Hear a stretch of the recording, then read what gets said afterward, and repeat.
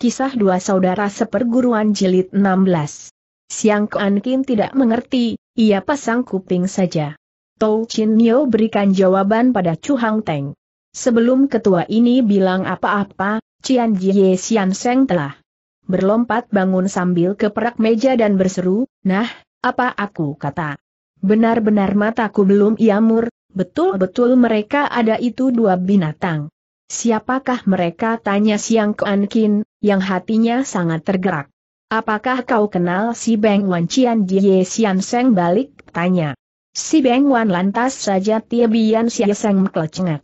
Segera ia ingat kejadian itu ketika pertama kali ia ikut gurunya, Pui Hok Hon, pergi ke Sogak Hoasan, untuk cari Sukong Chiao, di sana ia saksikan Sukong Chiao wasik dikepung tiga pahlawan Bo An Chiu, Bagaimana Sim Jie Sinie muncul dan hajar tiga pahlawan itu, hingga dua antaranya terbinasa dan yang ketiga kabur.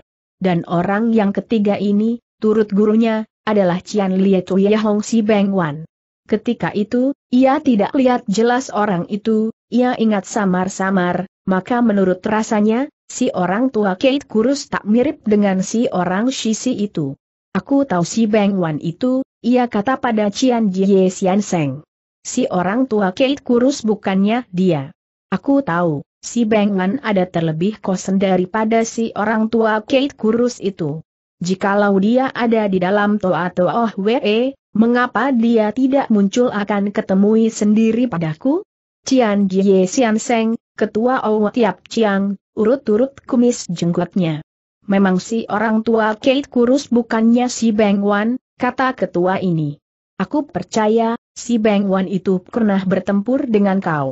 Menurut dugaanku, orang yang bertopeng yang bokong kau, sembilan dalam sepuluh, dialah adanya. Kenapa dia pakai kedok? Pastilah dia khawatir kau nanti kenali padanya. Siang Kuan Kin manggut. Lantas ia tanya Chu Hang Teng, apa ini adalah urusan yang ketua itu anggap aneh? Chu Hang Teng manggutlah lantas minta Cian Jie Sian Seng yang tuturkan pengalaman mereka.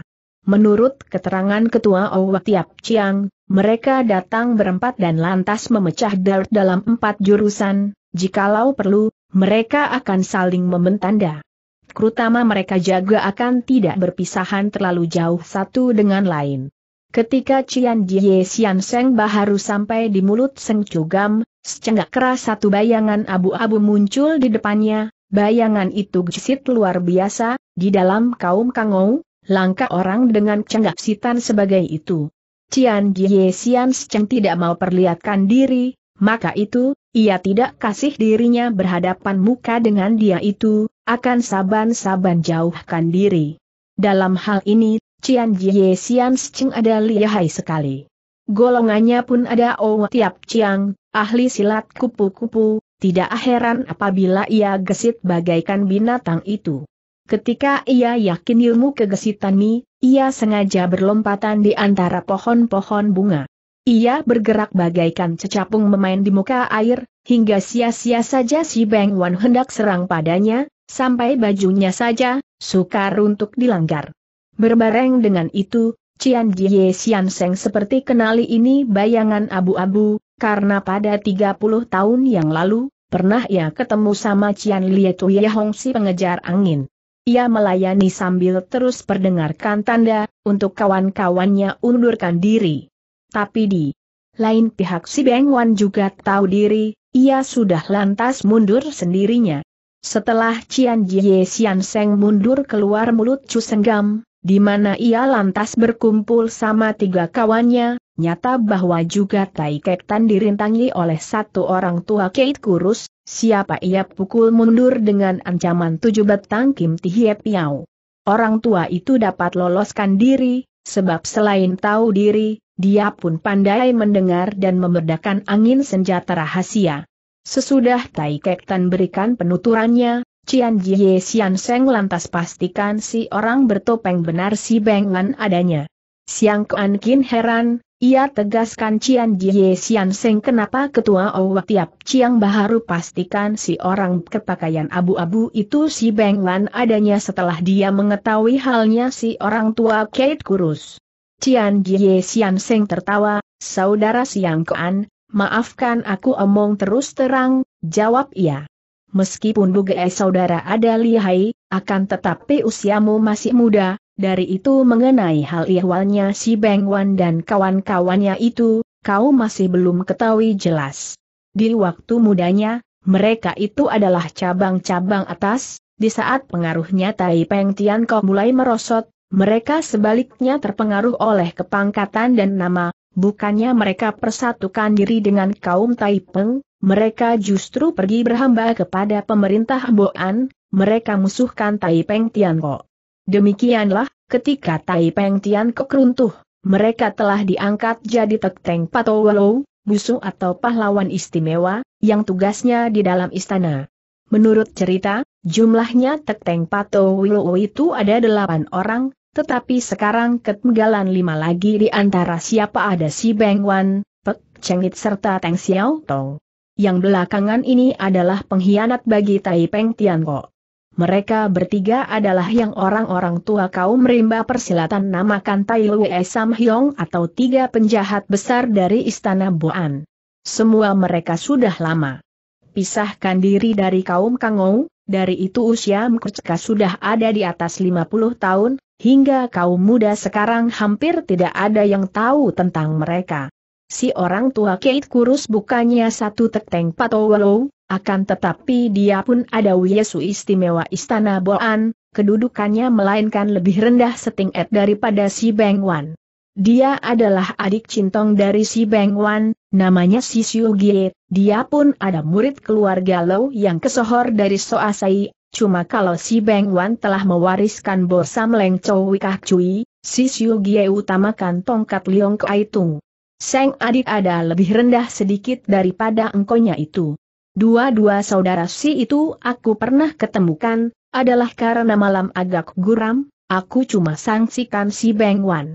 Saudara Tan telah ketemui si orang. Tua Kate kurus, aku percaya dia ada si Siu Gie. Dengan si Siu Gie ada di sini, tidak salah lagi, orang dengan pakaian abu-abu itu tentu si Beng Wan adanya. Gerakan tubuhnya yang pesat pun menunjukkan warisan dari keluarga Lo dari Soasai. Siang Kuan Kin cuma berpikir sebentar, lantas ia tertawa berkakakan. Cian Jie Sian Seng, aku kagum untuk penjelasan kau ini, kata ia. Akan tetapi, sebenarnya, masih ada satu hal yang bagimu pun belum terang. Kau bilang bangsa Boan punya tekeng pato wilung tinggi lima, di antaranya ada Pak Chengit dan Tang Xiao Tong, tapi menurut apa yang aku tahu, dua orang ini sudah mati sejak 11 tahun yang lalu, Cian Jie Xian Seng heran. Care bagaimana kau ketahui itu ia tegaskan. Siang Kuan Kin menjawab dengan terangkan halnya tiga penjahat satroni Sukong Chiao di Hoasan, tetapi mereka semua dihajar oleh Sim Jie Sin Ye, hingga keduanya terbinasa dan si Beng Wan lolos. Mendengar ini, semua orang bersyukur. Tapi ketua Owak Tiap Ci yang lantas merasa tak enak sendirinya, karena barusan saja ia sombongkan usianya yang tinggi dan pendengaran banyak. Tou Chin Nio ada sangat erdik, ia mengerti kelikatannya ketua itu, ia lantas campur bicara dengan simpangkan jurusan. Ia kata, kalau begitu dengan datangnya kemari di mana ia pun tak sedih perlihatkan mukanya, Si Beng Wan itu mesti ada kandung maksud tersembunyi aku khawatir TTU bukanlah suatu alamat bal, bagi Toa atau Ohwe. Chu Hang Teng berpikir, kemudian tiba-tiba ia pentang kedua matanya, yang memperlihatkan sinar tajam. Tiba-tiba juga, ia keprak meja. Tidak sayah lagi, kesulitan di antara Toa atau Ohwe dan Gia Toan juga tentu ada buatannya rombongan mereka itu ia berseru. Cian Jie Sian Cheng menduga benar, demikian juga ketua Giaho Otoan itu. Si orang tua kepakaian abu-abu dan si Kate kurus benar-benar ada si Beng Wan dan si Xiu Gie, dengan menerima tugas dari pemerintah Boan, mereka menyelundup masuk dalam Toa Toa WE, untuk terbitkan kekusutan dalam perkumpulan rahasia TTU, kemudian mereka jadi cumi-cumi untuk adu dombakan Toa Toa WE dengan Giaho Otoan. Memangnya Ong Chu Beng tidak puas terhadap Gia Ho Toan, dari itu, gampang dia kena dilagui. Si Beng Wan Li Hai, Li Chi, ia suruh si orang tua Kate kurus yang maju di muka, akan tempelong Chu Beng, lalu dengan pelahan-lahan mereka menyelusupkan orang-orang mereka. Ia sendiri terus main di belakang layar.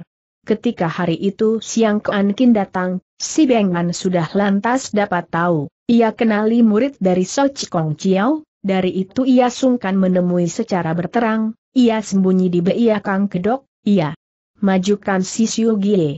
Malah ia sengaja sembunyi di dalam rimsu dalam hal latihan, ia menangkan siang Kuan Kin, akan tetapi ia tidak lihat mata akan muridnya Sukong Chiao, ia terlalu andalkan kegagahannya sendiri. Maka itu kesudahannya, walaupun ia berhasil melukai Tichbian Sieseng, ia sendiri pun tidak luput dari senjata rahasia. Syukur untuk ia-ia ada satu ahli, ketika Iain terkena totokan jalan darah, Segera ia rebah sambil tahan jalan napasnya, sampai si Siu Gie datang padanya, untuk uruti ia dengan ilmu Tuye Hiat Dengan begitu, ia jadi tertolong lebih cepat daripada Siang Kuan Kin. Dan untung buat Tichbian Sieseng, sebab si Siu repot tolongi kandanya, ia jadi tidak sampai dicari ubek-ubekan. Berhubung dengan kedatangannya rombongan dari Chu Hang Teng setelah bentrokan tidak berarti, si Beng Wan dan si Xiu Gie undurkan diri. Mereka insyaf bahwa ini rombongan musuh pasti lihai semua. Dasar mereka ada bangsa cerdik dan licik, lantas saja timbul kecurigaan mereka. Puncak utara dari Seng Cugam ada markasnya Tou Chin Niu. Mereka tidak puas terhadap itu Nyonya Janda, ketua dari Bansan Wanita, sebab si Nyonya tidak pemah kasih hati pada mereka. Sekarang pihak musuh, muncul dengan tiba-tiba, segera mereka curigai Chong Tau Bak perempuan itu. Mereka lantas bertukar pikiran, lantas mereka dapat suara pikiran busuk, karena mana, terus saja, malam-malam juga mereka cari Ong Chubeng. Pada waktu itu, Chu Hang Teng beramai juga sudah lantas berembuk. Di mana sudah ada kepastian halnya dua saudara Shis itu, Perlu mereka ambil tindakan telah diambil putusan besok pagi, Chu Hang Teng akan bikin kunjungan resmi kepada Ong Chu BCNG, untuk bereskan persengketaan sambil berbareng bongkar rahasianya si Beng Wan. Mereka ingin ketahui, bagaimana nanti sikap atau putusannya Ong Chu Beng. Nyatalah pihak Gia Toan kalah sebab dalam hal tindakannya. Besoknya pagi, belum Chu Hang Teng pergi, untuk dikiri kunjungan, malah baru saja ia mendusin dari tidumnya, atau Ong Chu Beng sudah mendahului datang cari dia. Memang malam itu, atas undangannya Tou Chinyo, mereka bermalam di markasnya Nyonya Janda Bok itu. Dengan tiba-tiba terdengar suara berisik di luar markas, segera Tou Chinyo datang dengan tergesa-gesa, wajahnya nampak berkuatir, akan tetapi, Waktu Chu Hang Teng menemui ia dan tanya apa terjadi apa, ia paksakan diri untuk tertawa. Ong Chu Beng datang bersama belasan orangnya, untuk menemui aku, sahut nyonya janda itu. Dia sekarang berada di luar markas. Ini ada hal yang dulunya belum pernah terjadi aku khawatir hal ini ada hubungannya dengan kau orang, oleh karena itu, aku minta kau orang siap sedia. Sekarang juga aku hendak pergi keluar akan temui mereka itu. Chu Hang Teng tak kaget atau gentar dengan warta itu. Aku justru hendak menemui dia, dia kata dengan tenang. Dia telah datang kemari, inilah kebetulan. Biar di sini aku ketemui dia. Kawakur. Jangan tahu Cinimar mencegah seraya goyangi tangan. Masih belum ketahuan, dia datang untuk maksud apa, kau orang dari itu belum perlu lantas menemui dia. Umpama dia bukan cari kau orang, habis kau orang muncul di depannya, apa itu tidak janggal nampaknya? Tidakkah dengan demikian mereka bakal curigai aku? Chu Hang Teng tidak berpikir lama akan nyatakan setuju pada nyonya rumah itu. Memang kedudukannya Chin Yo sulit. Benar Han Kui Leong ada sahabat kekal dari almarhum Bok Tian Bin, akan tetapi Ong Chu Beng adalah pemimpin umum dari Toa Toa Hwe, ada punya aturan sendiri. Tak dapat. Chin mau jual kawan suaminya, tapi juga tak boleh dia khianati perkumpulannya sendiri. Maka ia antap Chin keluar sendiri ia bersama Tai Kek Tan berempat segera siap sedia di belakang Pin Hong. Dengan titahnya Chin pintu markas sudah lantas dipentang, ia sendiri muncul akan sambut Tong Chu Beng, siapa benar ada berjumlah belasan orang, kecuali si Beng Wan dan si Xiu Gie, sebagian besar ada konco-konconya dua orang Shisi itu. Ia merasakan alamat jelek, akan tetapi ia berlaku tenang. Ia menyambut dengan aturan, ia undang pemimpin itu duduk. Chong Tochu datang beramai-ramai, apa ada pengunjukan apa-apa untuk pihak kita barisan wanita tanya Chin Niu. Wajahnya Chu Beng berubah dengan tiba-tiba. P.E.Ho kata ia sambil mengawasi, aku bersama Tian Bin Hian Te ada hidup bersama-sama, senang dan susah, kita punyakan persahabatan mati dan hidup, sedang ikhlas hadap kau, Aku rasa belum pernah melakukan suatu apa yang tak seharusnya, aku anggap kau sebagai orang sendiri, maka itu, aku ingin tanya, dalam hal apa kau merasa tidak puas terhadap toapahmu ini? Kenapa kau tidak mau jelaskan segala apa padakur? Kedua matanya Cinimar menjadi merah. Chong Tochu, apakah artinya kata-katamu ini ia tanya, romannya sungguh-sungguh. Ada apa yang tak seiayaknya dari aku? Tolong kau tunjuki. Aku masih muda dan cetek pandanganku jikalau aku tidak harap pengunjukan dari kau yang menjadi toapeh, dari siapa lagi? Ong Chu Beng perdengarkan suara di hidung. Chin Nio berkata iya. Umpama kau tidak pandang persahabatan Tian Bin denganku, kau harus hargakan kepentingan Toa Toa Hwe. Kau adalah pemimpin umum dari barisan wanita, tetapi kenapa kau terima datangnya musuh dari Toa Toa Wee, kau menjadi kawan dalam dari mereka? Nyonya Janda Bok terkejut, tetapi ia tenangkan diri. Kau dengar dari siapa? Chong Tochu ia tanya seraya. Memberi hormat. Siapa musuhnya Toa Toa Wee? Care bagaimana aku berani membantu diam-diam kepada musuh. Anggap orang berpura-pura, Cubeng jadi gusar sekali.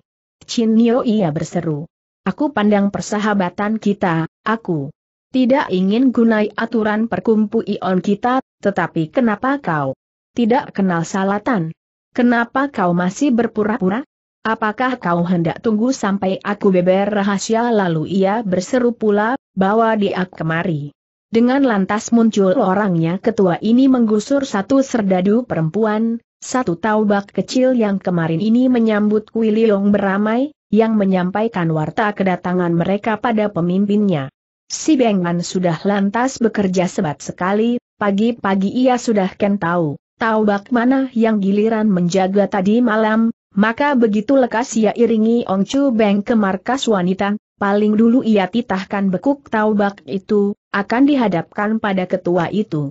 Di depan ketua umum itu, si taubak kecil tidak berani mendusta. Sambil menangis, dengan terpaksa, taubak itu lantas berkata, tadi malam ada empat orang yang datang menyambangi tocu kita. Aku tidak tahu kalau mereka itu ada musuhnya Chong Torju, satu. Chu Beng tidak pedulikan taubak kecil itu, ia hanya dengan bengis awasi Chin Niu. Chin Niu, apalagi kau hendak bilang ia menegur, Suaranya bengis. Tanpa tunggu jawaban Nyonya Janda itu, ia membentak pula, dengan titahnya, mari. Bekuk Dawal. Suaranya Chu Beng bekelum berhenti, atau dari luar terdengar soman, tahan itulah suara yang keras dan berpengaruh, menyusul mana muncullah Chu Hang Teng, yang datangnya sambil keloncat, di sebelah belakangnya, ia diikuti oleh Tai Kek Tan, Cian Jie Sian Seng dan Hon Kui Leong. Dan orang yang kelima, yang ketua Toa Toa Hwe tidak pernah sangka-sangka, ada. Tiebian Sia Seng Siang Kuan Kin, si mahasiswa muka besi. Selagi Chu Beng terperanjat, orang-orangnya segera siapkan alat senjatanya masing-masing, malah mereka hendak segera turun tangan dengan senjata-senjata rahasia mereka mereka pun tercengang tetapi tak terkejut. Tahan Chu Hang Teng berseru pula dengan suaranya yang berpengaruh. Apa yang Chin Nio bilang benar adanya. Kita orang bukan iah musuh-musuh dari Toa Toa Wee, malah kita sedikit jua tidak berniat untuk musuhkan Ong Chong Torju. aku Chu Hang Teng, sengaja aku datang ini hari untuk mengunjungi Ong Chong Tochu. Chin Nio melainkan menjadi orang perantaraan, Ong Chu Beng, di sini adalah kalangan pengaruhmu. Jikalau kau pakai aturan Kangou, sebelumnya omong jelas kau hendak turun tangan, aku nanti pasrah, kau boleh bacok aku cuhang teng dengan tiga bacokan dan tusuk dengan enam tikaman, pasti aku tak nanti kerutkan alis sekalipun, Hang Teng bicara seraya maju ke depan, ia bicara dengan tetap. Ong Chu Beng tertegun, meski ia sebenarnya ada sangat mendongkol dan gusar. Biar bagaimana, ia ada orang kangou sejati, satu ketua perkumpulan besar maka terhadap satu orang dengan siapa ia ada sama derajat, tidak dapat ia tak pakai aturan kangou juga. Dua Chong Tocu lagi berhadapan, mana bisa ia bertindak sembrono. Maka ia kendalikan dirinya. Cucong Tocu, kau tak ia datang sentri, inilah bagus kata ia, dengan suara nyaring. Chong Tocu, Kau hendak omong apa? Aku bersedia untuk mendengarkan. Ia sengaja bicara dengan keren, tapi ia pun pakai aruran. Ia harap dengan batu ia bisa mempengaruhkan pihak saingan itu. Chu Hang Teng tidak segera jawab ketua Toa atau OHWE itu, sebaliknya ia bertindak ke arah si Beng Wan dan si Xiu Gie, dua saudara licik itu. Ia awasi mereka dengan matanya dipentang lebar-lebar dan cahayanya tajam lapu lantas saja tertawa terbahak-bahak. Ong Chong Tocu ada satu Cheng Hiong, kenapa kau kasih dirimu dipermainkan segala manusia licik kemudian ia kata pada Ong Chu Beng, apa Ong Chong Tocu tahu dua orang ini ada orang macam apa hal yahwa mereka, asal-usul dan derajat? Dengan mata terbuka lebar, Ong Chu Beng mengawasi dua saudara si itu. Ia jadi sangat heran. Kenapa orang ini, bukannya omong tentang Toa atau Ohwe dan Gicho Toan, hanya mendahului bicara tentang dua kawannya itu duga, pada ini tentu ada suatu rahasia. Ia pikir hendak menegaskan tetamunya itu, atau mendadakan si Gie banting hancur satu cawan teh, kemudian sambil tertawa mengejek, ia kata dengan nyaring, benar-benar Cui Ong Tocu ada satu Eng secara diam-diam kau bisa menyelusup masuk ke dalam kamar ya tehu orang di mana kau telah bermalam. Lalu sekarang kau mencoba akan merenggangkan kita. Akan tetapi Ong Chong Tocu bukannya Tau Chin. Nio, yang bisa dengari obrolanmu, yang bisa kau gunai sebagai perkakas. Itulah kata-kata jahat. Dengan itu Chu Hang Teng dituduh sudah berzinah dengan Tau Chin Nio. Dengan itu Ong Chu Beng sendiri turut terpukul, sebab ia mestinya malu yang sanaknya perempuan berlaku serong. Betul-betul ketua Toa atau Ohwe merasa tersinggung. Memang bisa menjadi Chin Men gila sama musuh dan kasih tempatnya dipakas sebagai markas gelap. Tetapi, biar bagaimana, ia masih sangsi. Selagi ketua Toa atau Ohwe ragu-ragu, ia segera dengar tertawa nyaring dan berpengaruh dari seorang tua yang terus berkata kepadanya. Ong Chong Tocu, masih kan kau kenali aku si orang tua demikian suara itu. Pada 30 tahun yang lampau, aku pernah pergi ke Soasai, di mana aku telah berkecemu sama gurumu yang mulia. Ketika itu Ong Chong Tocu sedang belajar silat. Bisa jadi Chong Tocu sudah tak ingat pula padaku. Hanya, Apabila disebut namanya Cian Jie yang rendah, aku percaya Chong Tochu masih mempunyai kesan. Seumurku, aku si orang tua belum pernah mendusta, dan kau pun seharusnya percaya aku rejeda nanti menuduh orang. Dengan kedua tetamu yang mulia dari Chong Tochu ini, aku ada punya sedikit urusan, yang belum sempat dibereskan. Sungguh adalah suatu kehormatan dari Ong Chong Tochu yang kau telah gunakan satu orang sebawahan yang sebetulnya ada satu tekeng pato willow dari Sri Baginda Raja yang sekarang. Mendengar perkataan itu, Ong Chu Beng berjingkrak.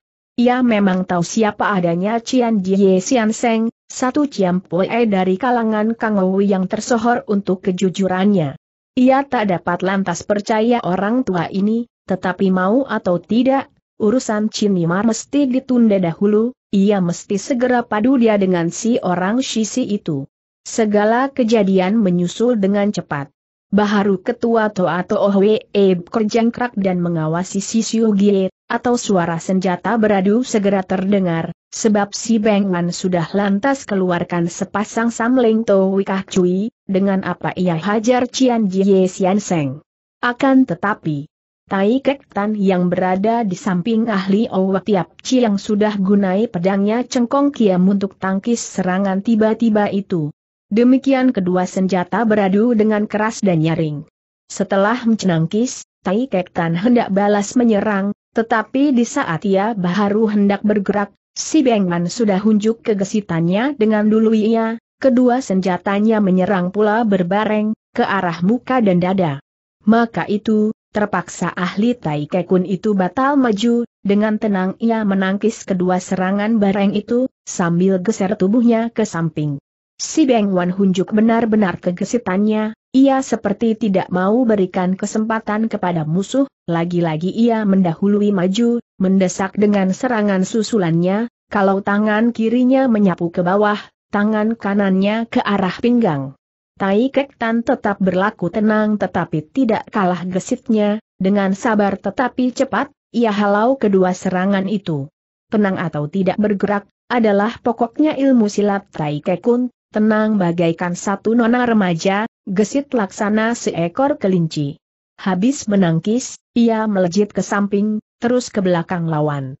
Celaka pikir si Bengan apabila ia dapati serangannya gagal dan musuhnya menggeser ke belakangnya. Cepat sekali, ia putar tubuh dengan gerakan Chin Puakiam atau Chin menggendol pedang. Ia putar tubuh sambil menangkis dengan sepasang senjatanya yang aneh dan lihai.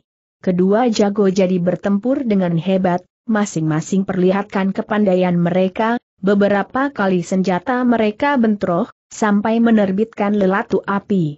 Menyusul pertempuran itu, yang hebat, ruangan itu jadi kalut. Si Siu Gie serta konco-konconya sudah lantas turun tangan, akan bantui kawan mereka. Han Kocil yang menjadi gusar, sambil berseni keras, ia ceburkan diri dalam pertempuran itu, ia kerjakan gaotan Gin Hoa toatnya, sedang Siang Kuan Kin telah mainkan kipasnya, untuk menotok setiap musuh. Ong Chu Beng dan Tau Chin Yimot cengang karena bentrokan itu, sampai mereka tidak bisa secenggak kera bertindak. Chu Hang Teng sendiri tidak diam saja, seraya hunus pedang Liong Yim Kiam dari E Ong Chio Tat Kei, ia tangkis dan babat kutung sebatang cit cialpian yang menyambar padanya, sambil berbuat demikian, ia berlompat ke samping. Kagetong Chu Beng melihat gerakannya ketua Giaho Otoan itu, ia menyangka orang hendak serang ia, ia pun sudah lantas hunus goloknya, golok tantu. Sekonyong-konyong terdengar seruannya Chu Hang Teng, tahan.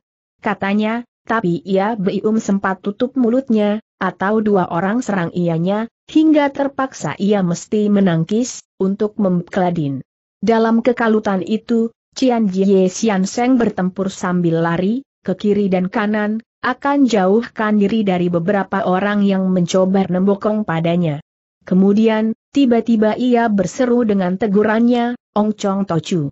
Kau ada ketua Toa Toa We, kenapa kau tidak atasi orang-orangmu? Apa mungkin kau jerih untuk dipadu, kau berniat lindungi segala budak-budak hina dina ini. Ong Chu Beng terpengaruh oleh teguran itu, yang ada bagaikan ejekan juga. Biar bagaimana, ia curiga, ia mengerti, mesti ada sebabnya kejadian ini. Maka tak dapat ia antap kekalutan. Orang-orang toa-toa oh we, berhenti semua lalu ia berteriak sambil ia lompat maju. Jangan bertempur dulu teh. Sia-sia ini titah, tidak ada orang tua atau OHWE yang taati itu. Kedua saudara si, berikut semua kamratnya, bertempur terus. Di waktu begitu, terdengarlah tertawa dingin dari Cian Jie Sian Seng. Kau lihat bukan, Ong Chong To Cui bilang. Jikalau kau masih tidak percaya mereka adalah budak-budak hina, aku bisa kasih lihat juga buktinya. Ong Chu Beng jadi sangat gusar. Si Siu Gie ia membentak, seraya dengan bengis ia hadapi orang Shisi itu. Jikalau kau tetap tidak hendak berhenti, aku nanti serang padamu. Ketua Toa Toa Hwe ini hendak pengaruhkan Gie, yang ia pandang sebagai biang keladinya. Selagi Ong Chu Beng belum tutup mulutnya, matanya si Beng Wan berjelilatan, atas itu dua orang, yang berada di dampingnya Ong Chu Beng, dengan mendadak, serang ketua Toa Toa Hwe itu. Bukan kepalang kagetnya Ong Chu Beng lah segera berkelit. Tapi serangan ada hebat, ujung tombak telah mengenai ia. Syukur ia ada gesit, selain telah tembusi bajunya, ujung tombak cuma menyebabkan ia terlecet. Tapi senjata itu membuat ia merasai hawa dingin dan sakit, hingga ia menjadi sangat gusar. Kurang ajar ia berseru, seraya tangkis tombak itu. Menyusul itu, satu toya turun dengan hebat. Chu Beng bisa tangkis tombak, yang ada tombak di kerantai, karena itu, goloknya terlibat, sia-sia ia mencoba, akan loloskan senjatanya itu, di waktu mana, Toya mengancam ia. Tidak ada daya lain, dia menjerit keras, dia apungi tubuh, loncat tinggi, melewati dua penyerangnya. Berbareng dengan itu, Chu Hang Teng serang orang yang bersenjatakan Toya. Dia ini terperanjat, tak sempat dia kejar Rong Chu Beng, lekas-lekas dia berkelit, akan selamatkan diri. Karena ini, Chu Hang Teng segera terusi menyerang orang yang bergegaman tombak di kerantai, ia gunai sabetan Sin Leong Tau Pue atau naga suci menggoyang ekor dari ilmu silat pedang Dua Hoa Kiam. Musuh itu tak keburu menarik pulang tombaknya, senjatanya itu kena ditabas. Liong Gim Kiam benar-benar ikehai, tombak musuh kena terbabat kutung, karena mana, musuh lantas lompat menyingkir. Ong Chu Beng dapat tertolong, ia bisa tarik pulang goloknya, lalu sambil berdiri diam, ia hunjuk hormat pada Chu Hang Teng. Tapi kekalutan masih BCRL langsung, ia segera melihat ke sekitarnya, hingga ia dapatkan Tau Chin Yima lagi dikepung dua orang. Oh, kawanan tikus, sungguh kau orang berani ketua Toa Toa Hwe ini berseru dalam gusarnya. Bagaikan kalap, ia menyerbu, ia guna ilmu goloknya Tang Pai Tu Hoat, ia ilmu golok kaum si Tang dari Soasai. Berbareng dengan itu, di samping terdengar jeritan hebat, apabila ia berpaling, ia dapati dua orangnya rubuh di tangan orang jahat. Ong Chu Beng datang menyergap Tau Chin Nyo bersama 16 orang, kecuali dua saudara si, dari sisanya 14 orang, cuma tiga yang terhitung orang-orang kepercayaannya, yang sebelas adalah konconya dua saudara situ, malah enam antaranya ada Wieso Cato pahlawan kelas 1 dan lima Wiesu kelas 2 dari Istana Boan, yang semuanya lihai. Ketua Toa Tohwe ini terlalu percaya Siu Gie dan Beng Wan, dia sampai kena dikelabui, dia tak kenali pahlawan-pahlawan kerajaan Cheng itu. Begitulah, bencana telah menimpa dia. Sebenarnya dua saudara si tidak pikir untuk gulingkan Ong Chu Beng secara lekas hanya dengan akal muslihatnya, mereka hendak gunai ketua Toa Tohwe ini sebagai alat. Untuk satrukan Gicho Toan, di luar dugaan mereka sekarang, selagi sergap Tau Chinyo, mereka bersomplokan sama pemimpin-pemimpin Gicho Toan dan justru bertemu sama Cian Jie Sian yang bongkar rahasia, mereka sudah terlanjur, mereka terpaksa turun tangan. Tentu saja mereka tak berani dipadu, maka mereka serbu sekalian pada Ong Chu Beng sendiri. Karena satu iat jumlahnya besar, mereka percaya akan nanti peroleh hasil. Apalacur, dua taubak dari Ong Chu Beng ada lemah, mereka ini sudah mendahului rubuh sebagai korban.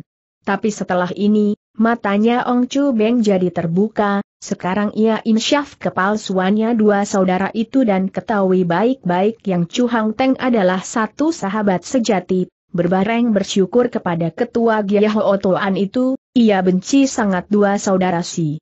Begitulah ia berseru. Ya, anggap saja matanya Ong Chu Beng buta, sehingga dia kena kau orang kelabui.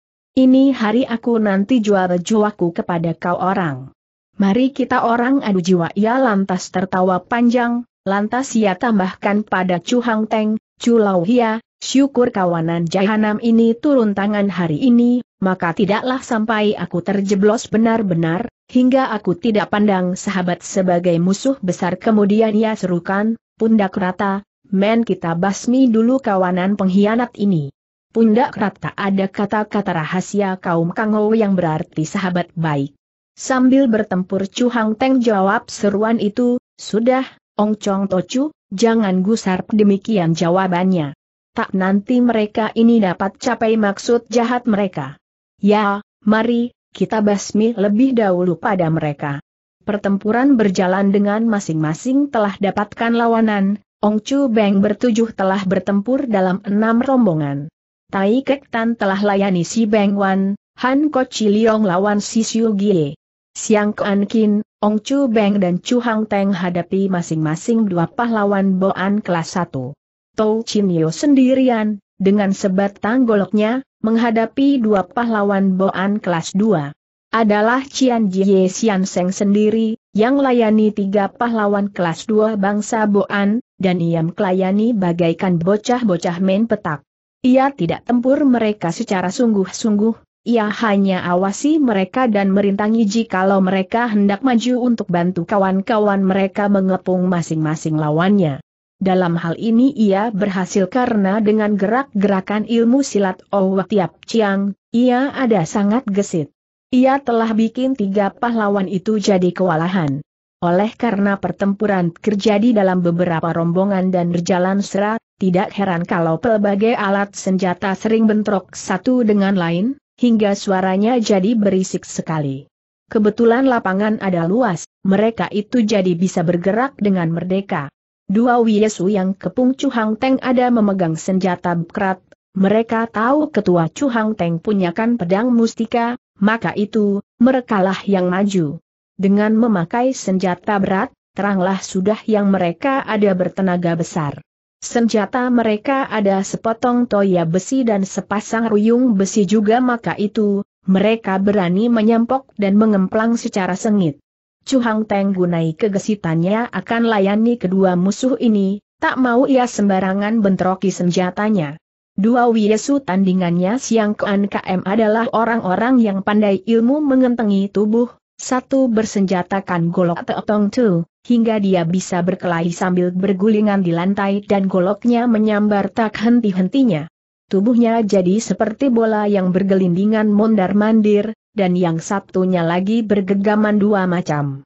Senjata, talah Joan Pian di tangan kanan dan Liam Chochio di tangan kiri, sebab tadi tombak berantainya kena di babat Chu Hang Teng, sekarang tombak itu tinggal sepotong.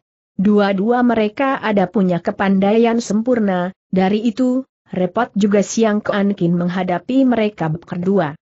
Yang ia awasi benar adalah yang bersenjatakan golok itu. Dalam keadaannya yang sulit itu, Siang Keankin masih punyakan kesempatan akan pentang macu kace sekitarnya, akan lihat kawan-kawan ni ala dapat kenyataan meskipun Tai Kek Tan Lihai, Ahye Tai Kekun itu tidak gampang-gampang menang di atas angin karena lihainya seng lawan, Walaupun demikian, ia tidak berkhawatir maka ia perhatikan betul-betul pada Tau Chinio, buge siapa ia masih belum tahu. Akan tetapi kemudian, di luar sangkaannya, justru adalah Chinio yang mendahului membuka jalan, yang merebut angin.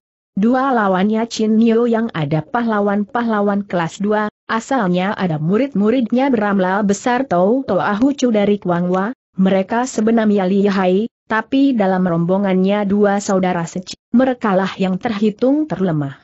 Pihak si anggap Cinimau adalah yang terlemah, maka dua pahlawan itu yang ditugaskan melawan pemimpin wanita itu. Apalah cur, dugaan ini nyata klest. Dua pahlawan itu bersenjata masing-masing sebat tangga etan Hui Tau Kau dan Arit Kecjau Hem dua-dua ada gegaman buat menaklukkan pedang, mereka percaya, tidak nanti tahu Yo sanggup bertahan lama terhadap mereka, dengan lantas keduanya mendesak dengan seru, bagaikan taufan dan hujan deras. Mereka tidak cemah menyangka bahwa si Nona adalah muridnya Boctong Tan Pei, Kau Sultan Sulam dari Butong Nai, dan telah berhasil meyakinkan golok ngobiel Liu Chiap Pio. Dengan goloknya itu, Chin Yo bisa halau sesuatu sekurangan, setelah mana, dia berkebalik mencesak, dia bikin dua lawan repot sampai mereka hanya mampu menangkis saja. Dalam keadaan yang mengancam itu, pahlawan dengan sepasang kejiau Lia mengegos ke kiri, dua aritnya diputar, dibarengi dipakai membabat berbareng menggaet kepada golok lawan. Ini ada tipu babatan yang dinamai Kimpoan Bian Lia atau mempersembahkan ikan tambra dalam nampan emas. Menampak serangan itu, Tou Chin Nio tertawa tawar. Goloknya telah berada di sebelah bawah harit. Untuk luputkan serangan, ia turunkan itu ke bawah untuk terus ditarik ke samping, dari sini ia teruskan. Menyontek nadi lawan. Lawan itu terkejut, lekas-lekas ia tarik pulang, tubuhnya pun ditarik mundur. Ini gerakan membuat dia berayal. Kena Chin Nio berseru, selagi ia membarengi, menyusuli satu tikaman ke arah dada. Pahlawan itu terperanjat, ia mengendap untuk berkelit, tapi ia kalah sebat, Ujung golok mengenai pundaknya, sampai sepotong dagingnya kena terpotong, daging itu dengan berlumuran darah jatuh ke lantai. Selagi Ona tahu lukai satu musuh, musuhnya yang lain bokong ia dari belakang. Ia tahu serangan ini, sambil memutar tubuh, ia menangkis dengan tipu Chin Poch Kiam atau Chin menggendol pedang. Maka dengan satu suara nyaring, Hou tahu kau kena tertangkis. Setelah itu, si Nona tidak tarik pulang goloknya, ia malah teruskan menikam pundak lawan itu. Menampak pundak kawannya terluka, pahlawan itu telah gentar hatinya, sekarang ia sendiri terancam, ia kaget, ia tidak berani menangkis, dengan satu loncatan kebalik, ia mundur sampai lima tindak, tapi benar sedang ia hendak putar tubuh, ia dengar suara tertawa mengejek di samping NGK upingnya. Sebab bagaikan bayangan, Chin Nio pun berlompat pesat menyusul ia, goloknya seperti kilat pesatnya, menikam ke arah tenggorokannya. Sebab ia kebetulan memutar tubuh, ia seperti sambut titik kaman, tanpa ampun lagi, tenggorokannya itu terpenggal, hingga dengan satu jeritan tertahan, ia rubuh binasa.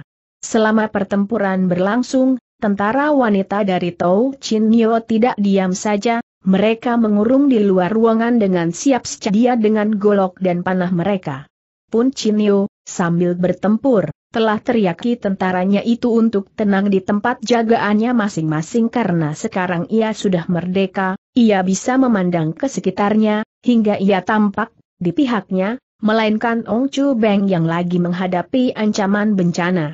Sebatang golok tantoonya Ong Chu Beng ada warisan dari keluarga Teng dari Soasai, Ilmu golok itu terdiri dari 49 jalan, sebanding lihainya dengan ilmu golok dari Cinio, tapi sekarang Ong Chu Beng layani dua pahlawan kelas 1, yang lihai, ia tidak begitu beruntung sebagai ini pemimpin wanita, ia repot melayani kedua musuhnya itu. Pahlawan yang satu bernama Siang Tat, senjatanya sebatang cambuk Tiat Tan Pian, yang kekrak pesat, melilit bagaikan naga hitam.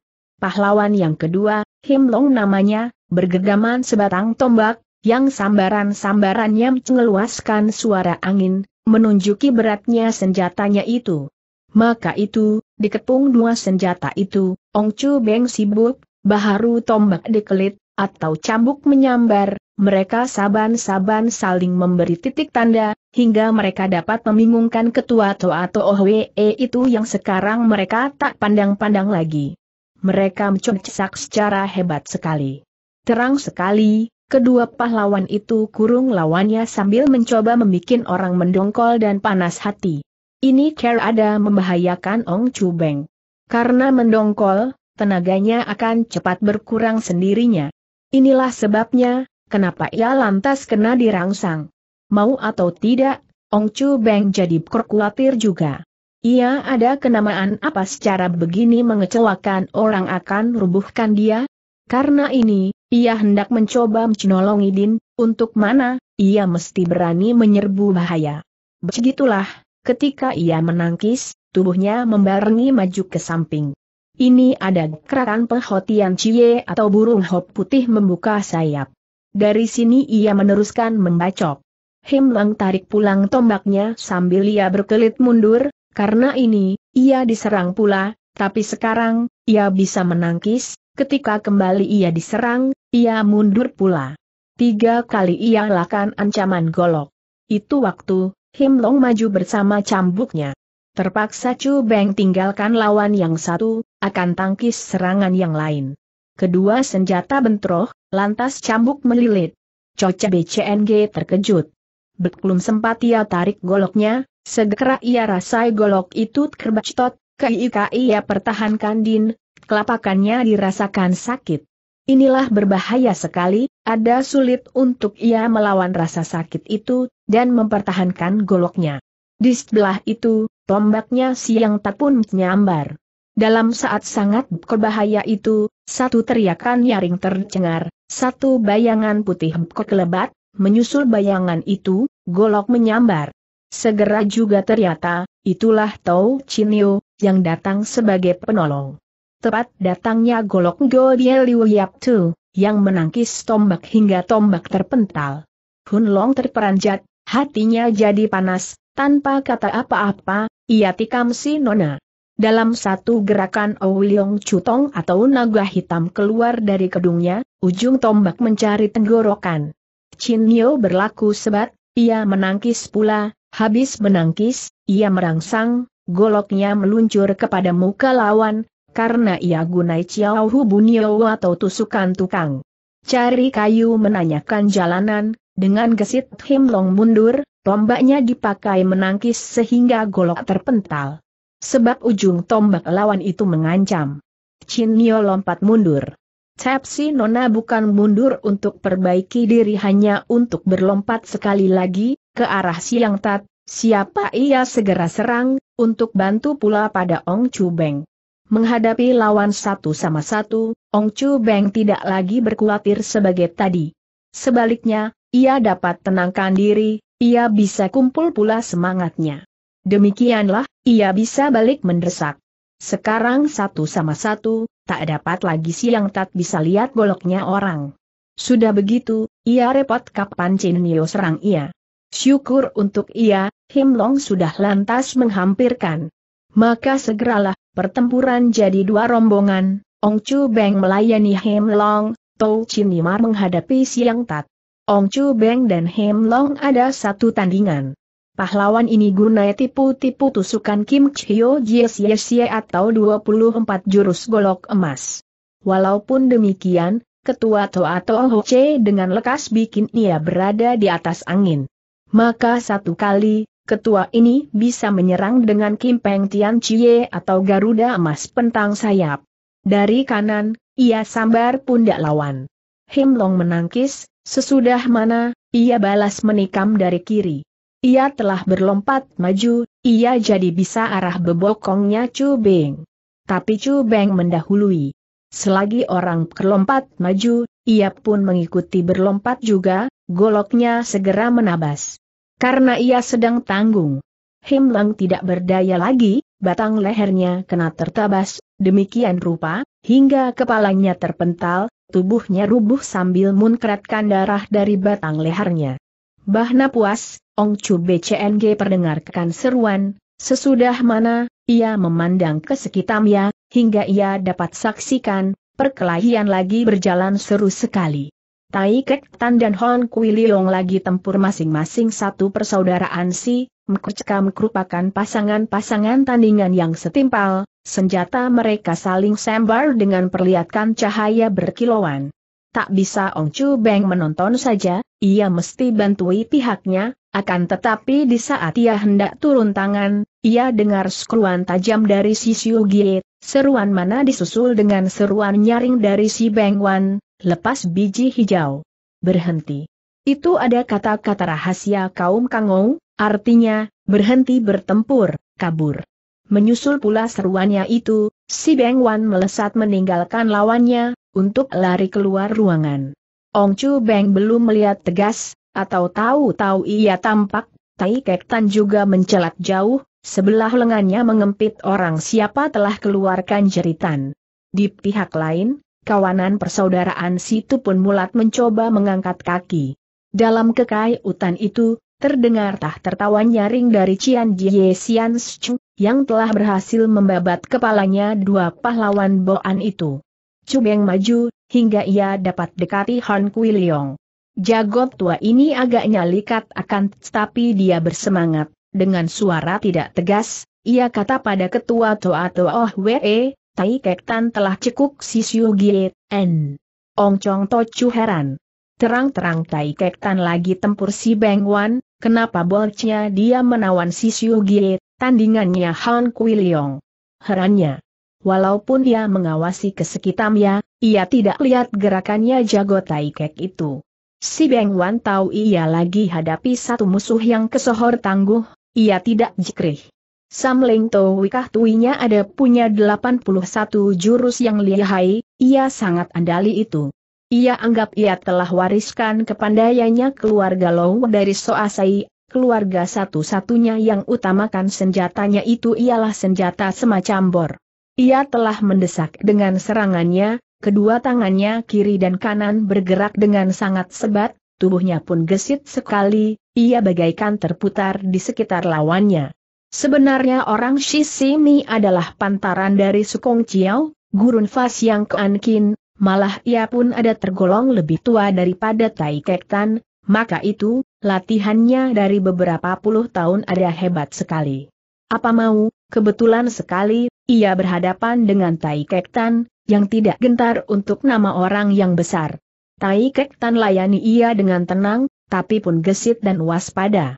Tai Kek Tan tidak mau menyimpang dari pokok Tai Kek Kun.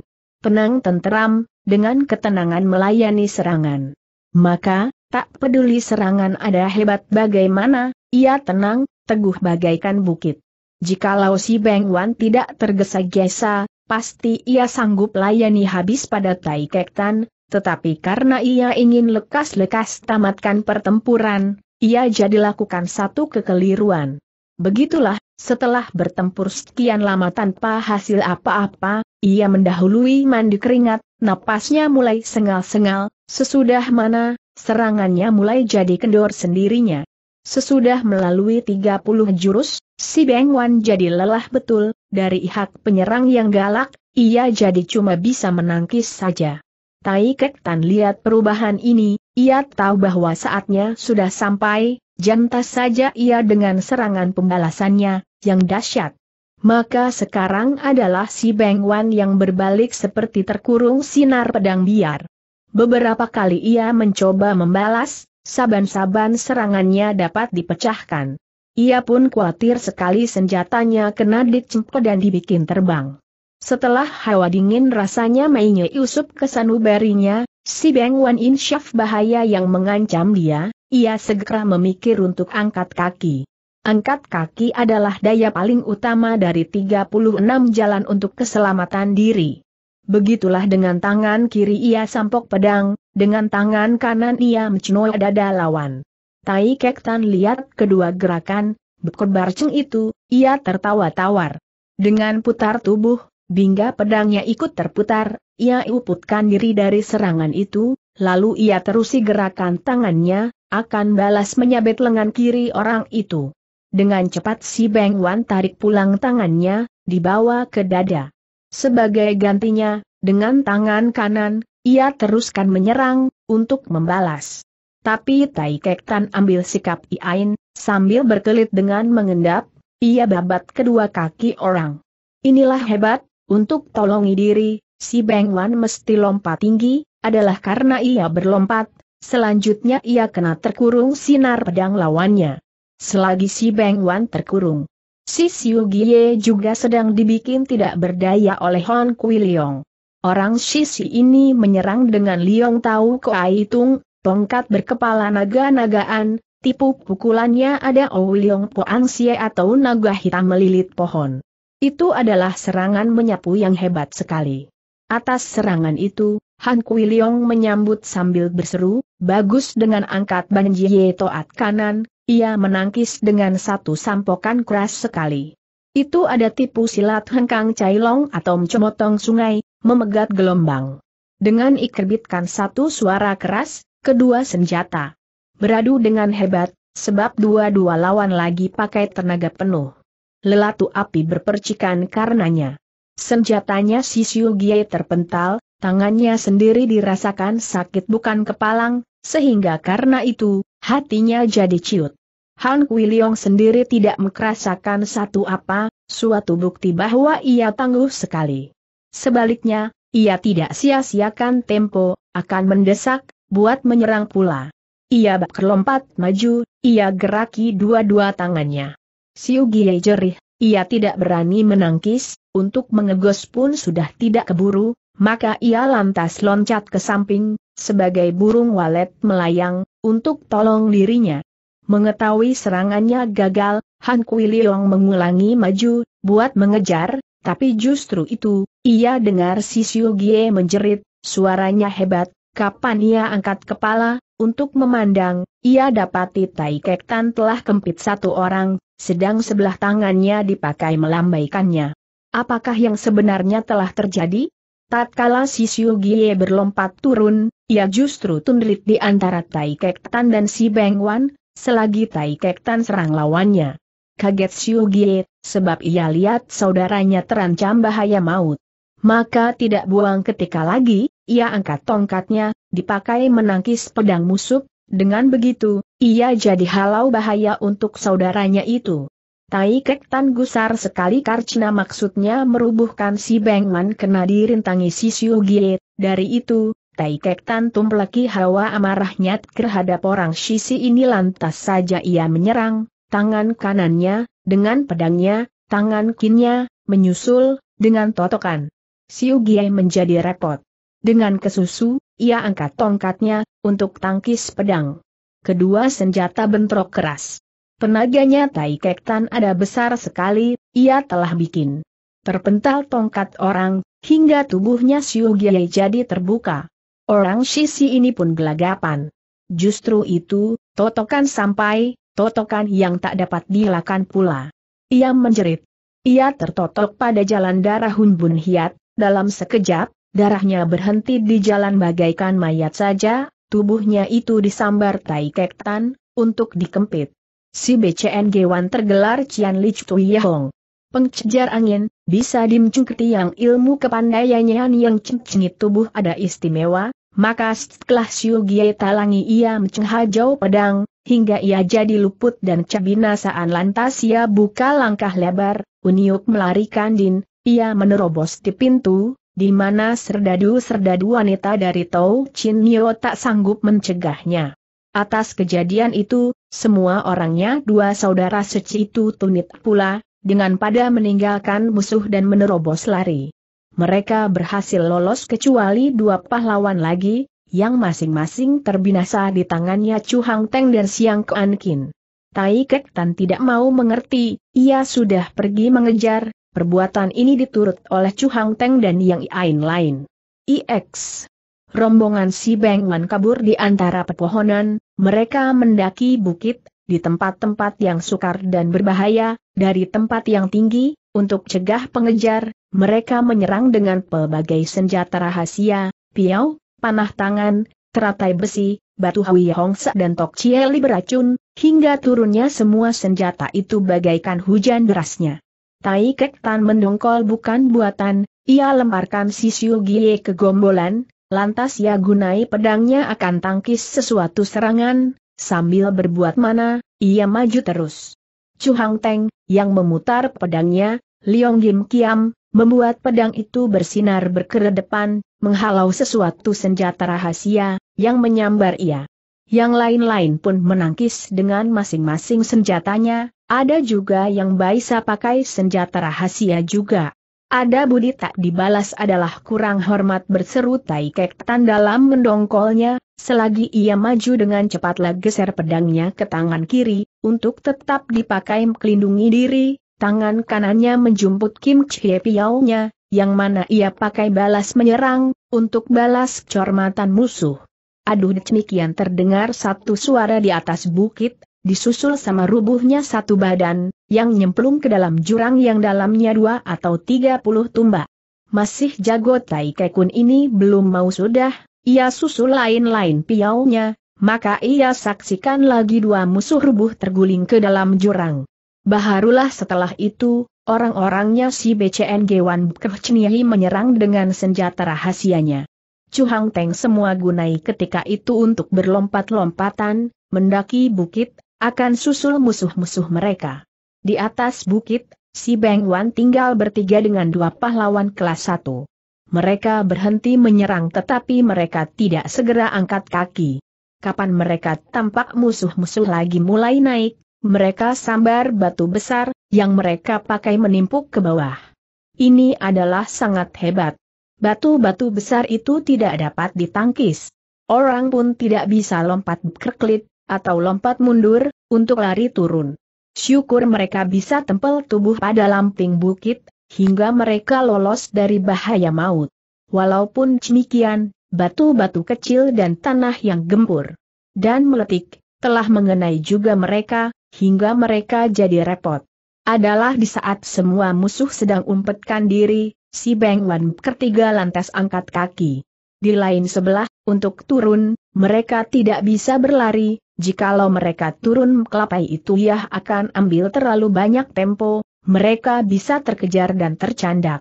Maka itu, mereka peluki kedua kaki dan tekuk tubuh hingga tubuh mereka jadi bundar, sesudah mana, mereka gulingkan diri, akan turun bergelindungan.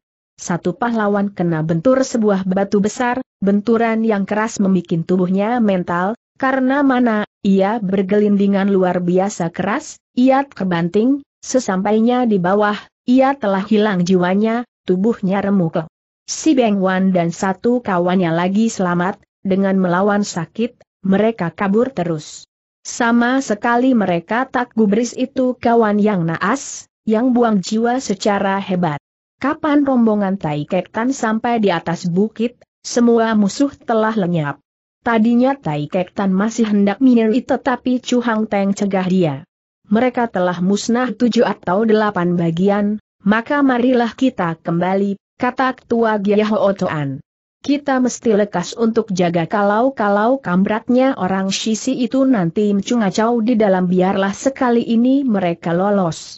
Tai Kek Tan mengerti, ilmu tengi tubuh dari si Beng Wan berimbang dengan kepandaiannya sendiri, tentu sulit akan candak musuh, karena ini, ia turut pikiran ketua Giaho Otoan itu. Ya, marilah kita pulang, kata ia. Maka semua orang lantas mencari jalan turun. Sembari jalan, Ong Chu Beng menghitung-hitung sendiri tentang jumlahnya korban di pihak si Beng Wan, yang semuanya terdiri dari sebelas pahlawan, Chu Hang Teng, Siang Kuan Kin, Tou Chin Nio dan Yas Cendiri masing-masing membinasakan satu orang, Tai Kek Tan binasakan tiga musuh, Cian Jie Sian Seng rubuhkan dua musuh, satu musuh lagi binasa kebantuk dari itu, selainnya si Xiu Gie yang tertawan, maka dengan si CBCNG Wan hanya tinggal satu musuh lagi. Jadinya, kawanan pengkhianat itu terbasmi sembilan bagian. Hanya, biar bagaimana mereka sayangi yang Beng Wan toh lolos. Di tenken jalan, Tai Kek Tan Ken Si Siu yang ia lemparkan ke dalam gombolan, buat angkat musuh ini untuk dibawa pulang, langsung ke markas Toa Toa Hwe. Semua tahu bak heran melihat ketua mereka jalan bersama-sama pihak Giaho Toan, tetapi lebih heran lagi. Kapan mereka lihat, begitu sudah berkumpul di dalam markas, Chu Hang Teng minta Ong Chu Beng segera bunyikan tambur, untuk panggil berkumpul semua taubak, sesudah mana, setelah dibikin pemilihan, penangkapan dilakukan terhadap taubak-taubak konconya dua saudara si. Mereka ini terkejut sebenarnya mereka hendak bikin perlawanan, tetapi di bawah kepungan Tai Kek Tan beramai, mereka tak berdaya. Sama sekali ada 20 lebih taubak kambratnya si Beng Wan dan si Xiu Gie, jangan 11 orang telah terbinasa atau kabur, tinggal sepuluh lebih. Dari antara mereka itu, beberapa di antaranya kabur dengan diam-diam begitu lekas mereka tampak ketua Toa Toa ada bersama-sama rombongannya Giaho Otoan. Mereka curiga dan dapat firasat jelek. Maka itu, yang ketahuan sekarang cuma beberapa orang saja. Mereka ini masih heran kenapa mereka ditawan. Ong Chu Beng kumpulkan mereka, lalu di hadapan semua taubak lainnya, ia beber komplotannya dua saudara si, yang baru saja dibasmi, malah si Siu Gies sendiri kena. Ditawan hidup-hidup. Tadinya mereka itu sangka si Siu Gie bukan tertawan hanya terluka. Buat menambah penjelasan, Cian, Jie Xian Cheng turut bicara, akan beber rahasianya dua saudara situ, yang hendak gulingkan Toa Toa Hwe dengan adu Toa Toa Hwe dengan Gia Ho Toan, dengan menyelundupi pahlawan-pahlawan Boan yang menyamar, hingga ketua Toa Toa Hwe kena dikelabui. Si Siu Gie, yang telah dibikin sadar, terpaksa mesti aku perbuatannya bersama-sama saudaranya, sehingga sekalian taubak yang ditangkap itu pun mesti tutup mulut. Nyata mereka telah jadi perkakasnya bangsa Boan, jadi pengkhianat bangsa. Taubak-taubak Toa Toa We, yang pernah diadu dombakan terhadap Gia Toan, jadi gusar sekali terhadap rombongan persaudaraan si ini, yang telah permainkan mereka. Di lain pihak, mereka sesalkan telah kena orang dustakan. Dalam keadaan tegang sebagai itu, mendadak Ong Chu Beng berbangkit. Ia dorong ke samping kursinya, lalu Sarnbil berdiri di samping kursi itu, ia berkata dengan suara nyaring, Saudara-saudara, rombongan kaum si ini tak bakal lolos, belakangan saja kita hukum mereka. Sekarang aku ada satu urusan penting, yang hendak aku utarakan. Saudara-saudara, untuk banyak tahun aku telah ditunjang oleh saudara-saudara, diangkat menjadi Chong Tocu dari Toa Toa Hwe, maka itu aku menyesal sekali ini kali aku kena dikelabui oleh sahabat-sahabat palsu hingga karenanya, satu sahabat baik aku telah pandang sebagai musuh, hingga aku lakukan satu kesalahan besar. Aku malu atas kekeliruanku ini, tak ada muka buat aku terus pegang pimpinan lagi. Saudara-saudara, jiwaku telah ditolong oleh Toako Chu Hang Teng, sekarang aku hendak mohon Chu Toako sekalian merangkap menjadi ketua dari Toa Toa Hwe juga. Habis mengucap demikian, tanpa tunggu persetujuan lagi, Ong Chu Beng pimpin Chu Hang Teng untuk duduk di kursi besarannya yang ia telah geser itu. Chu Hang Teng bersenyum, ia balas cekal tangan orang akan paksa duduki ketua itu di kursinya sendiri. Ong Chong Tochu, jangan kau mengalah padaku, ia kata. Toa Toa Hwe ini kau sendiri yang telah bangunkan dengan susah payah maka bagaimana dapat aku menimpinnya? Ini pun bukan urusan kesecorangan, yang dapat dipindah-pindahkan menuruti suka hati sendiri. Izinkan aku omong terus terang. Gie Hootoan bukan kepunyaan pribadi, seperti juga Toa Tohwe bukan kepunyaan saudara sendiri kita semua adalah orang-orang penentang bangsa Boan, bangsa asing. Kita adalah orang-orang dalam satu garis, jadi tugas kita adalah bagaimana kita harus keluarkan tenaga. Saudara, sebagai ketua dari Toa Tohwe, kau dapat berbuat lebih banyak daripada aku, maka tidak selayaknya kau serahkan kedudukanmu padaku. Buat kita adalah, mari kita bekerja sama. Kata-katanya Chu Hang Teng membuat kekaguman bagi sekalian Taubak Toa Toa Hwe. Mereka tahu, ketua mereka telah ditolong ketua Gia Toan ini, adalah tetapi untuk serahkan Toa Toa Hwe kepada seorang asing, mereka ragu-ragu, sekarang mereka dengar penampikan orang dengan alasan yang sehat itu, hati mereka tergerak sekarang mereka awasi ketua mereka, akan dengari pengutaraannya ketua itu terlebih jauh. Ong Chu Beng jadi ragu-ragulah telah keluarkan perkataannya, care bagaimana ia bisa thankful kembali? Tiba-tiba Cian Jie Xian Seng muncul. Ong Chong Toju, janganlah kau mengalah kata orang tua ini. Toa Toa Hwe tak dapat disamakan dengan Gia Ho Toan, keduanya juga tak perlu berebut tempat, begitupun kau sendiri dan saudara Choch. Kau orang ada orang-orang luar. Biasa, tak dapat kau orang bikin sebagai orang rimba persilatan yang kebanyakan. Benar seperti katanya saudara Chu, kau mesti tetap pegang pimpinan. Yang benar adalah kedua pihak berserikat, bersama-sama maju, bersama-sama menderita, untuk mencapai cita-cita kita. Sebelum Chu Beng sempat mengutarakan pendapatnya, semua taubaknya telah bersorak menyatakan setuju atas usul Cian Jie Xian Seng, maka itu, akhirnya, ia terpaksa batalkan niatnya mengalah pada Chu Hang Teng. Ia setuju pemikaran, untuk jadi Beng Chu, ketua perserikatan, ia usulkan Hang Teng. Mulanya Chu Hang Teng menolak tapi Cian Jie Sian Seng desak ia, maka di akhirnya, ia terpaksa ia terima kedudukan itu. Dengan begitu, dengan Ong Chu Beng, ia lalu angkat saudara. Segera dibikin pesta besar, sampai tiga hari lamanya. Tentu saja karena ini, Tau Kan Lo yang ditawan Toa Toa Oh Wee, lantas dimerdekakan dan ia ini pun turut dalam pesta itu. Selama tiga hari itu, Cho Chang Teng dan Ong Chu Teng telah atur rencana kerjasama supaya ada garis-garis untuk mereka bertindak. Sekelang tiga hari, kegembiraan berubah jadi kesecipian. Tai Kek Tan dan rombongannya, jago-jago tua, pamitan untuk pulang. Siang Kuan Kin juga turut pamitan. Ketika ia ambil selamat berpisah dari Ong Chu Beng dan Tau Chin Nio ia kelihatan lesu. Chu Hang Teng lihat roman orang itu, ia mengerti, tetapi itu waktu ia diam saja. Chu Hang Teng perhatikan Teng Hiao, ia minta Tai Kek Tan didik baik-baik anak itu. Tai Kek Tan menyanggupi, ketika ia ceritakan bagaimana caranya Teng Hiao datang, untuk belajar silat, semua orang tertawa. Tai Kek Tan, Chian Jie Xian Seng dan Hon Kui Leong, berangkat lebih dulu, kemudian mereka pun berpencaran. Chu Hang Teng antar siang ke Ankin. Ia tahu sahabat ini menduga apa-apa. Tiba-tiba ia tanya, coba bilang, kalau barisan wanita dari Toa Toa HWCC dipadu dengan Hong Teng Chiao kita, mana yang terlebih tangguh? Siang Ankin berpikir sebentar.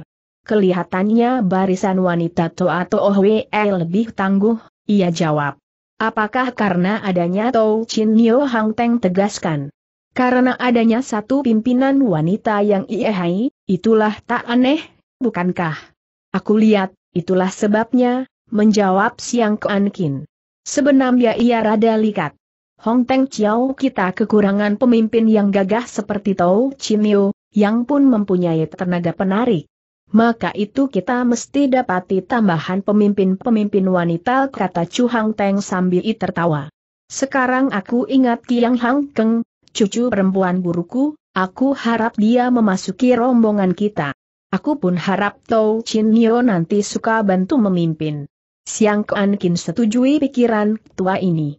Karena ini, Chu Hang Teng lantas ajak Siang Kuan Kin kembali dulu ke markas Gicho Toan, untuk mengatur sesuatu, setelah mana sahabat ini diutus ke Pooteng untuk kunjungi Kiang Ek Hian dan cucunya, diharap, umpama Ek Hian menampik, cucunya itu nanti membantu. Tetapi, waktu Tichbian Sieseng kembali, ia kembali dengan tangan kosong. Ia kata keluarga Ki yang telah berpindah dari Pooteng setengah bulan yang lalu, entah ke mana pindahnya, sebabnya pun. Tidak ada yang tahu, kecuali orang duga, mereka itu hendak menyingkir dari musuh. Inilah heran, kata Chu Hang Teng, yang terpaksa kirim kabar ke sana sini, untuk minta sahabat dan kawan-kawan bantu selidiki alamatnya jago tua itu.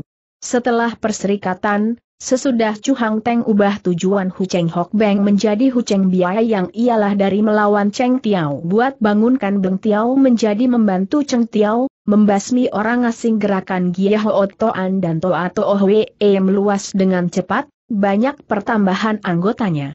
Karenanya, pemerintah Cheng jadi terpaksa mengaku sah ini perkumpulan rahasia, yang cabang-cabangnya menjalar sampai di beberapa provinsi di utara. Soatang menjadi pusat utama, karena satu distrik Jimpcheng saja punya kan kunciang, rumah perkumpulan, sampai 800 buah. Hang Teng girang sekali, kecuali kapan ia ingat gurunya, Kiang Ek Hian dan Hang Keng. Walaupun tidak ada Nona Kiang, barisan Hong Teng Chiao tetap peroleh kemajuan, sebab ia dapatkan pimpinannya Nona Lau Sam Kou, adik perempuan dari Lau Weng Hok, itu pendekar yang kelabrak pasukan Perancis. Perhubungan Hong Teng Chiao dengan barisan wanita dan Toa Toa Hwe pun erat, terutama sebab ada Siang Kuan Kin, yang suka jadi jembatan antara Gia Ho Toan dan Toa Hwe. Chu Hang Teng pikirkan gurunya, ia tidak tahu, Guru ini tidak merasa aman tinggal di Pooteng, walaupun sebenarnya Kiang Ek Hian hendak hidup tenang di rumahnya, karena MMA, ia sampai tampik ajakannya Hang Teng membantu Gia Ho Toan, yang tujuannya ia setuju sangat. Ia pun sangat sayang Hang Gens, Seng cucu dan ingin dapati satu pemuda yang setimpal uniuk cucu ini, agar mereka bisa tetap tinggal berkumpul bersama. Belum lama dari berlalunya Chu Hang Teng dari Poot Cheng, Kiang Ek Hian dengar kegemparan lenyapnya Teng Hiao, puteranya Teng Kiam Beng, dari rumahnya, katanya disebabkan anak itu menampik menikah dengan pilihan ayahnya Ek Hian juga. Teng Hiao tentu diajak Hang Teng lah tidak pikirkan ini, karena ia tak bersahabat sama Kiam Beng, tujuan hidup siapa pun ia tak harni. Maka ia tidak mau kunjungi Kiam Beng akan utarakan dugaannya itu. Tapi di sebelah itu, lenyapnya Teng Hiao membuat jagot tua ini sangat bingung nyata Hang Keng ada sangat perhatikan pemuda si Peng itu. Disebut namanya Teng Hiao, si Nona gembira, tapi mengetahui hal si pemuda lenyap, samar-samar tampak kedukaannya. Ek Hian tidak pernah sangka, kepergiannya Teng Hiao bukan gara-gara Hang Teng saja, hanya juga disebabkan cucu perempuannya ini. Hang Keng girang Teng Hiao memasuki Gia Toan, ia berduka karena ia tak dapat tinggal bersama pemuda itu. Selagi Ek Hian berduka karena kelesuan cucunya itu, pada suatu hari Kiam Beng datang padanya menanyakan kalau-kalau ketua Buo Akun ini ketahui suatu apa perihal Teng Hiao, puteranya yang lenyap itu. Kiam Beng datang pada orang Shi Kiang Mi karena ia dengar cerita yang ditambah-tambahkan mengenai bentrokan antara Teng Hiao dengan pahlawan-pahlawan Soh Sian Ie disebabkan si Nona Kiang hingga kemudian putranya jadi kesahabat sama Nona itu, bahwa karena Nona ini, putra itu menampik menikah dengan pilihan orang tua. Kiang Ek Hian tidak puas. Memangnya ia tak setujui jagotai Kek Pei ini. Kau kehilangan anak, kenapa kau tanyakan aku kata ia dengan ketus. Aku tidak punya tugas untuk mengurus anakmu itu. Kiam Beng jadi jengah. Aku dengar cucu perempuanmu kenal dengan anakku, aku datarik untuk menanyakan saja, maksud lainnya aku tak punya, ia kerangkan. Tapi jawaban ini membuat mukanya tuan rumah menjadi merah, karena mendengkol. Ngaco belo ia berseru. Kau anggap cucu perempuanku itu orang macam apa? Apa mungkin dia sembunyikan anakmu itu? Teng Kiam Beng, jangan kau pandang rendah padaku karena usiaku lanjut, tapi tak dapat orang sembarang menghina aku. Sudan, jangan kau datang kemari untuk ngoceh tak keruan ia lantas berbangkit, tangannya mengibas, silakan. Silakan cari sendiri putra musti kamu itu. Aku di sini tak berani menerima tetamu agung mulia. Itu adalah usiran untuk tetamu. Bukan kepalang mendongkolnya Teng Kiam Beng, akan tetapi karena ia datang cuma karena pendengaran, ia berlaku sabar. Aku datang untuk menanyakan saja, Lo Chiam Poe, kata ia. Lo Chiam Poe banyak pengalaman dan pendengaran, barangkali saja kau mendapat tahu hal anakku itu. Tidak ada maksud lain dari aku. Karena Lo Chiam Poe tidak mau mengketi, baiklah, aku mohon perkenan untuk pergi. Ia lantas memberi hormat sambil menjura, ia putar tubuhnya dan berjalan keluar. Ia masih dengar tuan rumah tertawa dingin di belakangnya. Lewat beberapa hari, masih Ek Hian mendongkoli Kiam Beng dengan kunjungannya itu. Tapi selang sepuluh hari, muncul lain urusan yang bikin Faber lipat kali lebih sebal, yang membuat ia sangat uring-uringan. Ini kali ada kedatangannya censar setempat, yang tanyakan dia, Chu Hang Teng itu pernah apa dan orang si Chu itu pernah kemalam di rumahnya atau tidak. Ek Hian heran atas itu pertanyaan, diam-diam ia terkejut. Dulu pernah aku terima satu murid si Chu, ia jawab. Dengan tenang, tetapi dia bukan bernama Hang Teng, sudah. Sepuluh tahun lebih sejak dia keluar dari perguruan, tidak pernah ada kabar ceritanya dan aku pun belum pernah cari dia. Guru silat ini tidak berdusta ketika ia sangkal nama Hang Teng. Memang dulu, muridnya itu pakai nama TJTP Hian, dan nama Hang Teng dipakai sejak murid itu bangunkan kekerakan Gia Hootoan. Ek Hian pun heran, sekalipun dalam kalangan Kangou, Sedikit orang yang ketahui Hang Teng ada muridnya, kenapa Cimcusar negeri bisa tahu itu? Ha abis siapa itu orang dengan usia pertengahan yang pada dua bulan yang lain telah datang ke rumahmu ini dan tinggal untuk sekian lama ia ditanya pula. Ek Hian percaya, orang cuma dengar berita saja, dari itu, ia tetap berlaku tenang. Dia itu ada sana jauh dari aku, ia akui. Dia ada adik misan dari koponakan langsung dari bibi misan dari besannya anakku yang lelaki. Sudah 20 tahun aku tinggal di Pooteng. Sekalipun dulu, ketika aku buka rumah perguruan, belum pemah aku terbitkan urusan, apa pula sekarang sesudah aku asingi dirt, mustahil aku izinkan orang jahat berdiam di rumahku. Pembesar itu tidak bilang apa-apa, tetapi ia minta Ek Hian cari dua hartawan atau saudagar, yang suka berikan tanggungan untuk dirinya. Dengan Roman Likat, dia kata, kau ada sat guru silat tetua, kau juga ada penduduk lama, yang kenamaan baik, tak bisa kita tidak memandang padarnu, tetapi kami lagi menjalankan titah terpaksa kami berlindak begini. Harap kau suka memberi maaf pada kami. Pasti sekali Ek Hian tidak ketahui sebabnya kenapa orang tanyai Chu Hang Teng padanya. Inilah karcna tindakannya. Kedua congtok dari Tiklece dan Lam terhubung dengan perampasan orang-orang tawanan, antaranya Teng Hiao di Hek Sekong, di mana sejumlah serdadu dari Ampeng kena ditawan kaum Gia Hootoan. Sebab di kota Ampeng ada perbatasan Title dan Lam, kepala pementah kedua provinsi itu jadi sibuk, titah dikeluarkan untuk cari Chu Hang Teng. Di Pooteng ada beberapa orang polisi yang usianya lanjut, Ingat Kiang Ek Hian ada punya murid Si Chu, dari itu, Ek Hian jadi dapat kunjungan dan pertanyaan. Syukur ia ada penduduk kenamaan, ia pun bersikap tenang, orang tidak curiga ia. Hanya yang sulit ia dimestikan cari dua penanggung jawab. Sebagai guru silat, sahabatnya adalah guru-guru silat juga, sekarang ia diminta cari hartawan atau saudagar, sukar untuk ia mendapatkannya. Ada beberapa, yang ia kenal, tapi mereka itu tidak berani bertanggung jawab. Sebab urusan katanya ada berhubung sama gerakan Gia Hootoan. Di itu zaman, orang jerih terhadap undang-undang bengis dari pementah Boan terhadap pengkhianat atau pemberontak. Dua hari sudah Kiang Ek Hian berputaran mencari penanggung, ia tidak berhasil, karena temponya tinggal lagi satu hari, sore itu ia sibuk bukan main. Terus sampai malam, ia tidak lantas dapat tidur. Maka ketika ada suara berkeresek di luar jendela, ia segera dapat dengar itu. Sahabat, siapa itu di luar ia menegur seraya berbangkit, mukanya menghadap jendela. Marilah masuk dan bicara.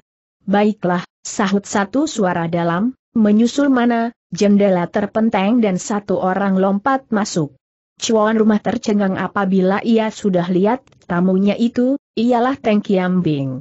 Tengah malam kau datang kemari, kau ada punya pengajaran apa untuk aku ia tanya. Tolong kau jelaskan. Ia duga orang jengkel terhadapnya dan sekarang hendak cari gara-gara, lantas saja ia bersiap untuk sesuatu penyerangan.